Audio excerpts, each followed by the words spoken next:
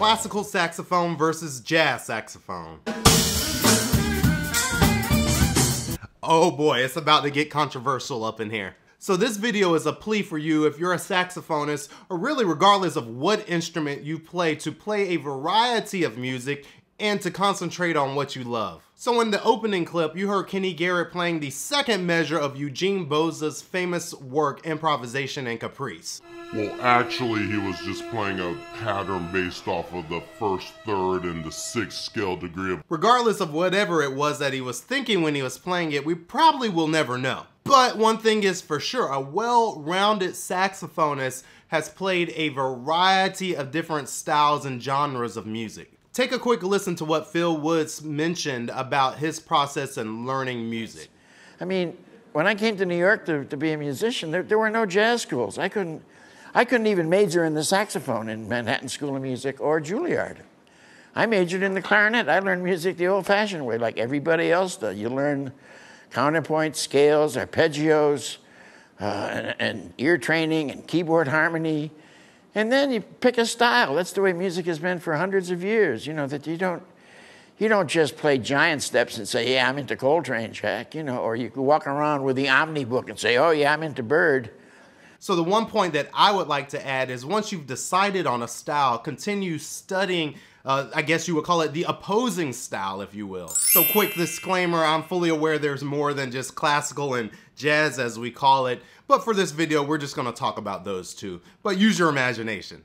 A lot of musicians really get caught up on this fact that I can't play classical music unless I have this Vandoren AL3 or this Selmer C-Star Eugene Rousseau classical mouthpiece. And the same is vice versa. You know, a lot of classical musicians are like, I can't play jazz unless I have this $2,000 Theo Wanne mouthpiece.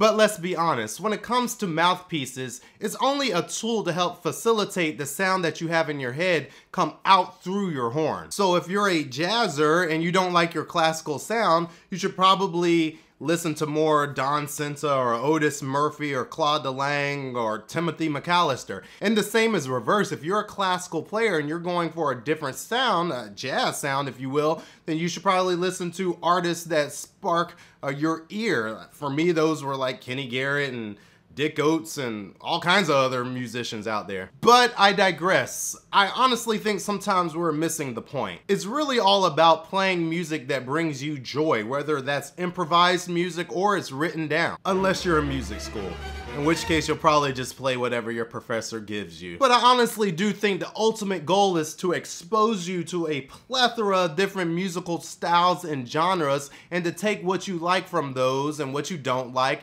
and learn from them and grow as a musician. Because if I'm being honest, I would love to sound like this guy.